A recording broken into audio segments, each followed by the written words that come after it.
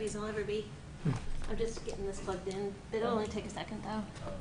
It helps if you plug it in. No signal. Oh. It's not working.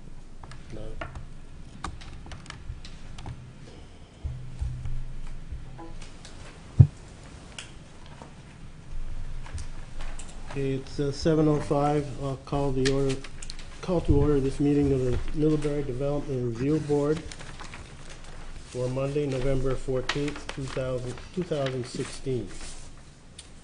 Um, The only item on the business agenda tonight is an application by Jim Daniel representing the Raymond A. Daniel Trust for final approval of a two-lot subdivision located at 189 Burchard Park in the high-density residential zone.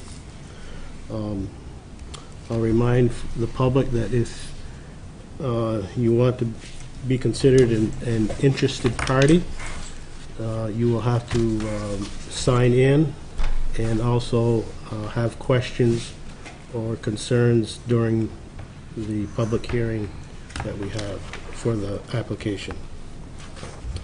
Um,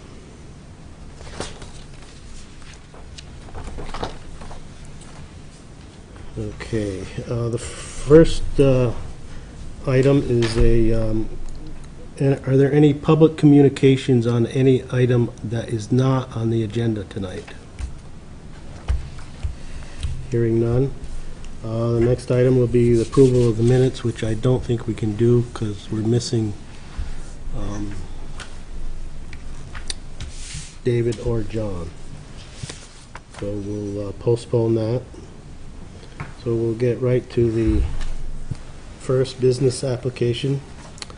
Um, An application by Jim Daniel representing the Raymond A. Daniel Trust for final approval of a two-lot subdivision, the property located at 189 Burchard Park in the HDR zone. And the first thing we'll do is uh, administer an oath for the applicant and interested persons. I affirm that the evidence and information I am giving in this proceeding is true and accurate to the best of my knowledge and belief.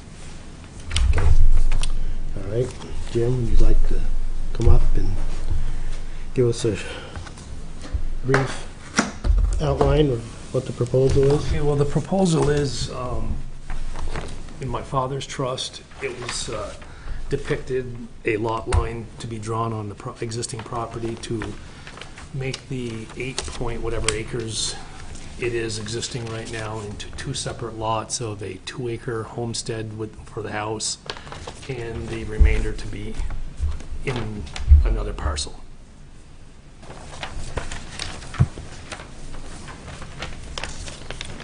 Okay. And um, I, I had brought to you um, a survey already done by Donna Johnston. It has been already pegged.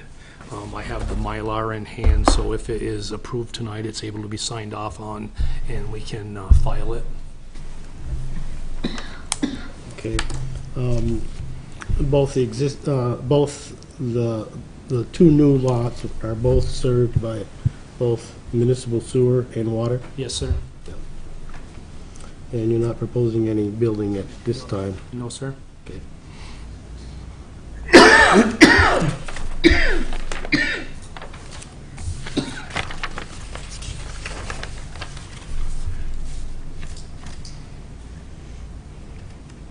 Any questions or comments from the board at this point? The lot one has a house on it, the other's, Yeah, one's the pre-existing house that was my dad's all along, mom and dad's, and then, then it was a, it was a field. So all there is is just a, a line adjustment to make it two separate parcels, still remaining as trust property.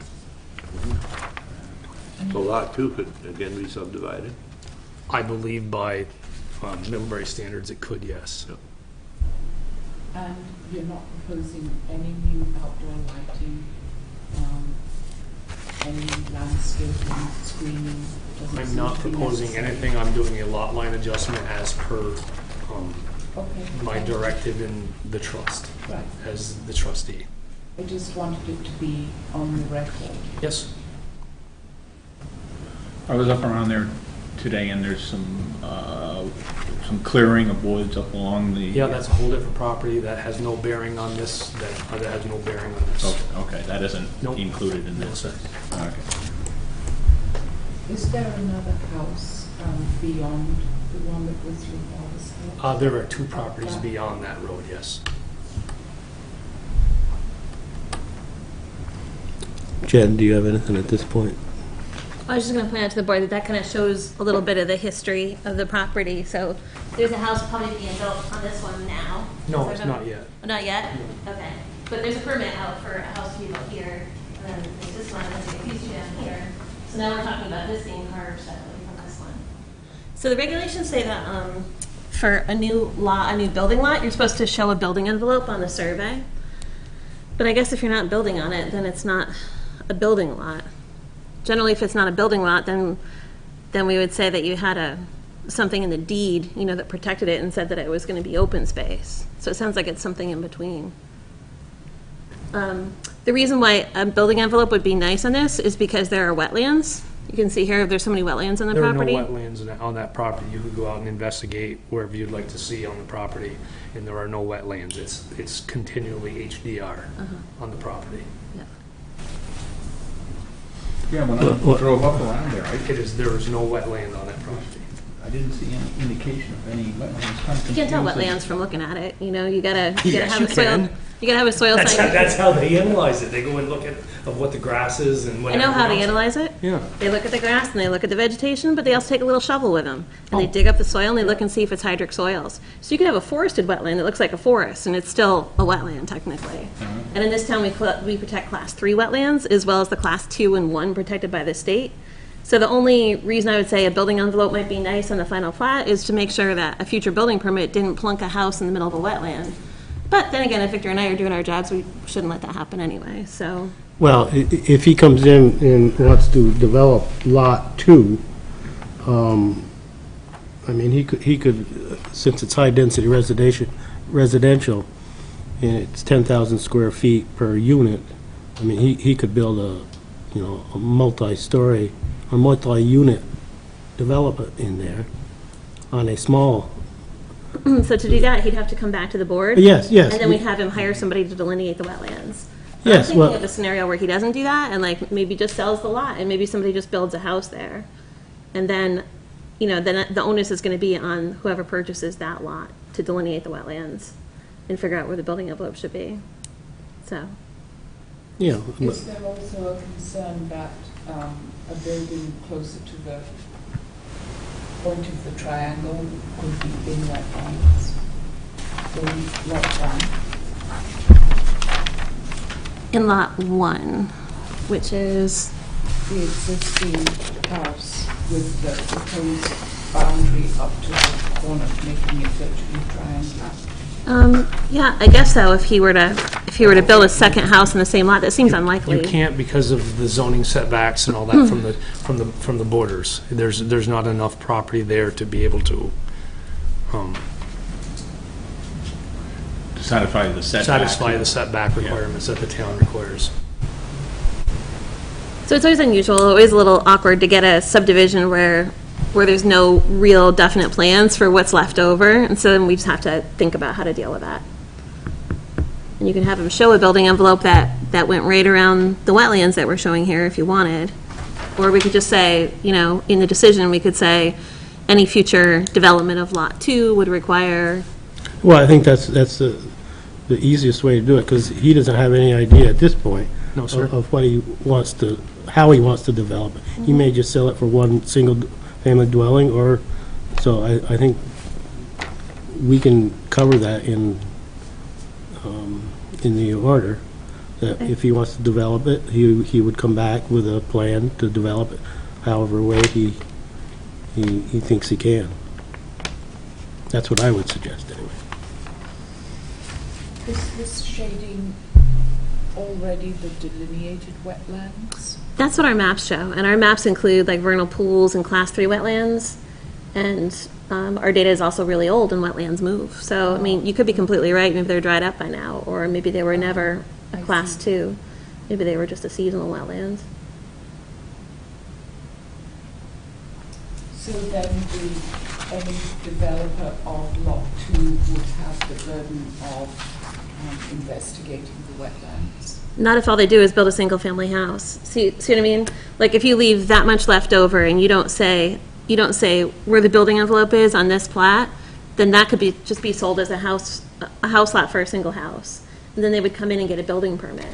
And for a building permit, I can't really require a wetland delineation. And I'm gonna be, I'm gonna be arguing with the builder about where they put the house, because there's no, you know, there's no delineated, um, what's it called? Building envelope, where I can say, look, this was the building envelope that was approved by the DRB, this is where the house should go. There's gonna be this whole battle on our end, if it's sold for one person. If it's a subdivision and they're gonna like create several house lots out of it, then it would come back to this board and we can discuss it as a board. You could put, you could put a condition in the decision that if that is sold in the future, then it, the building permit wouldn't be issued administratively and it would have to come back to the board. You wanna do that? Yeah, well, yeah, I guess that would make sense. That would be, mean, That way he doesn't have to bear the cost now of figuring out the wetland question, but, Which may have moved by the time yeah. there's building. But then I, I wouldn't be having to make all these decisions on my own when I issue the building permit. I can, quite frankly, we can take anything that we want and, and refer it to the board anyway. But it'd be nice if it was in the condition of the, uh, the condition of the approval, I guess. So now, would that, would that be a standard procedure for any subdivision that isn't proposing a building at this time? I mean, somebody can come in and want to subdivide, uh, you know, 100 acres into three parcels with, with no intention of building right now. So would that, would, is that what you would do normally? Normally, section five seventy-one V of the regulations says that when you create a building lot, you have to show a building envelope on the, um, final plat. And so this final plat doesn't show a building envelope. Either that, or you could create some sort of, you know, because some people actually carve off, um, lots to be open space forever. They're gonna sell it to a farmer. They have absolutely no intention of building on that in the future. So then they would have something in their deed that said that there was a conservation easement on it, or this was designated open space not to be developed. So that's what we would normally do, is either require the building envelope now. I mean, I don't know what you would normally do, because we haven't done this together yet. Yeah, well, it- yeah, we haven't done it like. I'm telling you what Jennifer would normally do. Yeah, yeah. Okay, well, I'm, I would, it- it's, yeah, I don't, I don't remember us doing it this way, but that isn't to say it's not a good way to do it. Um, I'm just, uh, now, if, if, for instance, he did have a building envelope proposed, would that confine him if in the future he wanted to do something different, and he could prove that a certain amount of this is not in the wetlands? You could always have the decision amended, and he could come and show you an amended um, building envelope. But Other we than just that, do it That's the point of the building without envelope. one now and just subdivide the lot and then just put it in wherever, when it's That's time what I to, would say too. I when think. it's time to build, come back to the board so we can just make sure we put it in the right spot. Mhm. And he doesn't have to worry about doing any of it. Right. Thank you. That's the simplest thing that needs to to occur. Okay, um, any other questions from the board at this time? Are there any comments or questions from the public at this time? question. How are we basing everything on wetlands? We're unsure about how old everything is. If this is also old, and if the wetlands aren't even there, then why is this being, like, I feel like we need to figure out if they're there before you can tell us that we can't do something with it. But I don't, I don't get how you can say this is from fifteen years ago and it's, we're- it's. So, first of all, if you're listening, no one's telling you that you can't do anything tonight, so, but if we were to say that you weren't able to do it, then, um, then we would have you hire the wetland scientist to prove that the, that those aren't wetlands there. I mean, the onus is always on the applicant to prove otherwise, so this is what our mapping shows. The risk that was outlined was that once a subdivision is granted, if only one house was to be built on that lot number two, then in theory, Jennifer would ordinarily approve that and the wetlands issue wouldn't come up. But the wetlands issue is supposed to be handled when there is a subdivision, which is what we're doing now. So we either require the wetlands to be dealt with now, or we make a condition that we at least think about it down the road. Does that make sense to you? Any other comments or questions? I'm a neighbor to this, and we are neighbors to this. Okay, could you state your name, please? Uh, Tom, excuse me, Tom Dickinson, Okay, thank you. and we are neighbors. Uh, I did not come in to look at the documentation. I didn't realize until it was too late to, uh, to do that. Uh, Is that available for examination in the future? Because I'm curious as to uh, what is proposed. And with the, the uh, the maps and so on. Yes, it's, a- it's available. Um, I don't know, if we can show you, you're talking about the map itself? Well, the plot plan, I mean, I see a plot plan and then I see a, a, uh, what do you call that, a, an aerial view. Okay, well, we, we have a a subdivision plat that shows the, the, the large lot being um, uh, divided in two.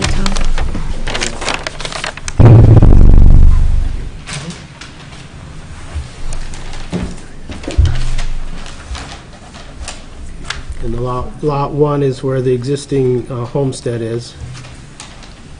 Or lot one, and lot two is gonna be the vacant lot at this point. Right. And then on the uh, west side is uh, supposed to be, to be broken off or be separated from lot two. Not at this time. She said no. Okay. I'm not sure, I'm not sure if I understand his question. Lot- On the west side, To the west. On the west side is uh, James D. That's where Daniel. he's living.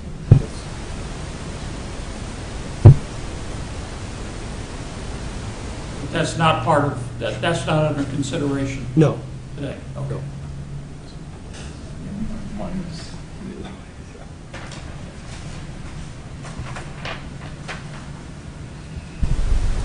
But that's already been subdivided. So everything is staying the same as it is now, except that there will be a legal line between, Ah, on the land that's there now. Between lot one and lot two. Yes. Okay, okay.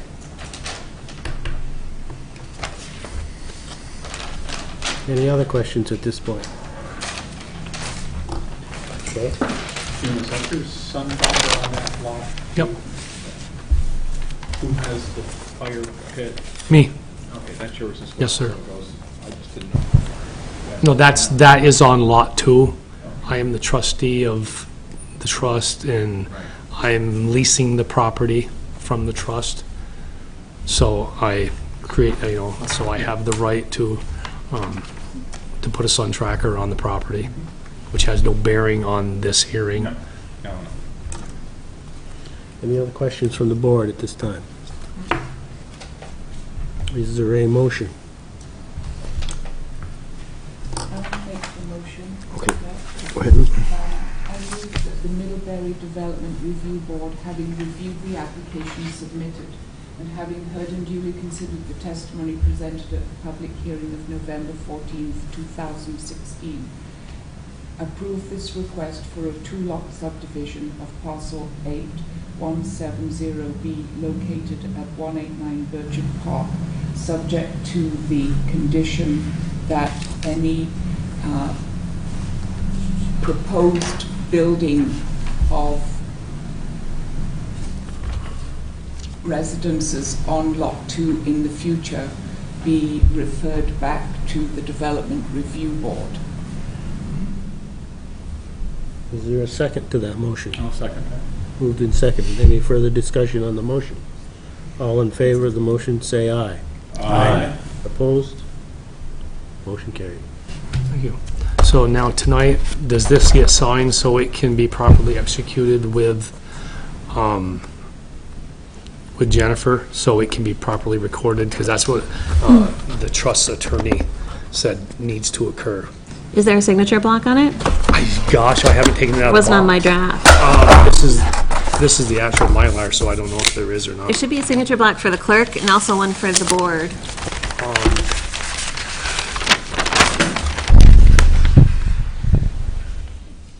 cannot tell you where it would be, it does not appear. Do we have a stamp? No, We don't. no. We could order one, I guess. Boy, I hate to, I hate to, to change somebody else's survey though, or stamp something on, yeah, I guess, yeah, I guess I'd be right. Can we just say You could write it in, I guess. town clerk? or Chair of the development. You have to sign. Yeah. What do you? Usually there's a block to, okay. So do you want me to have Donald Johnston deviate this drawing, so there's a Sig- formal signature. spot for you guys to sign off on it, or is it really that detrimental that it is to be that Leave that up to, correct? to these guys. I don't, I'm not making any decisions here.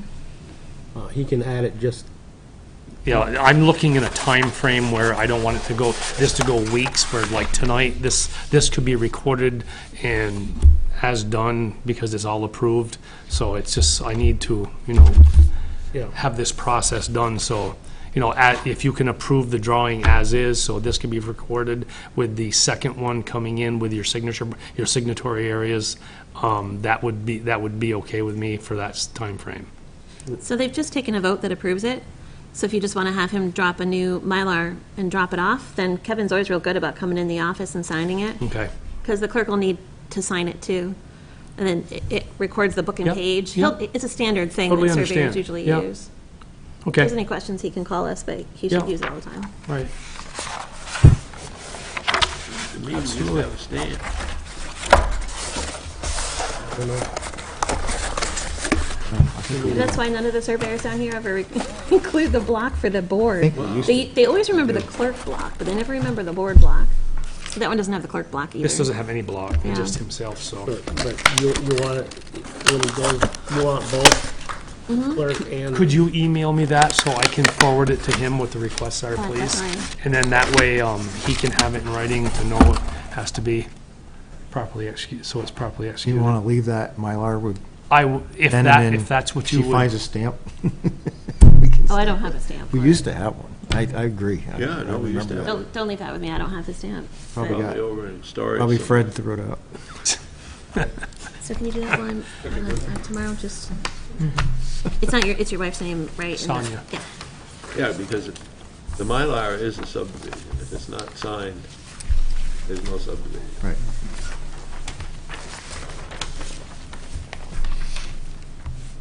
No matter what, there- what's in the minutes. Okay. Right, it has to be signed. You just can't take a marker and sign it. In this case, if it had the clerk's block, I would say we could just write it in, but the clerk's gonna need so, that. so, so at this point, it is approved pending a properly executed Mylar. Mm-hmm. It's been approved, and we have to write up the decision, and the decision will be signed too. Okay, Then after the decision, there's like a 30-day appeal period. Yep. Yeah, I've seen that where the Mylar wasn't signed and usually it can be uh, figured out, but uh, I know of one in New Haven that wasn't signed, uh, the house couldn't be sold Right. in a subdivision. If it's not signed and recorded within 180 That- days. That's, uh, that was uh, one over on uh, Hobble Road, Just check. which was, part of the development was in Middlebury and part was in New Haven. Thank you. Thanks. thank you very much. See you later. Thanks. Have a good night. Thank You said? Give it to the clerk? Yeah, so that check is for the clerk. He's already prepaid us for the recording. And I told him I would take it over to the clerk after I got signed. Have a nice night. See you later. So I can just leave that with you.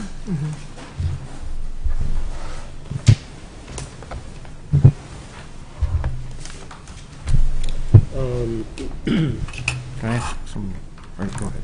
mm, uh, deliberative session, uh, we aren't going to do that. Other business. We have other business? We I have have- other business? I'd like, I wasn't here for the last meeting on the uh, non-conforming issue that came up. And I guess I wanted to see if we could talk about that at some point and see. Oh, oh, the, across from here. Cole? Yeah. Yeah. I just, I'd like to, uh, we don't have to do it on the record, I mean, we can just discuss it afterwards if you want. Okay, you want to adjourn then? I, I wrote myself a summary, which, because I, I couldn't just tell you even now. So if I read this, everyone else can tell me if it's correct Okay. You want or to not. kill this? You want to adjourn, we'll adjourn the meeting. Is there a motion to adjourn? Yes. So moved. Second. All in favor, say aye. Aye. Aye. Meeting's adjourned. We're all done, Kathy.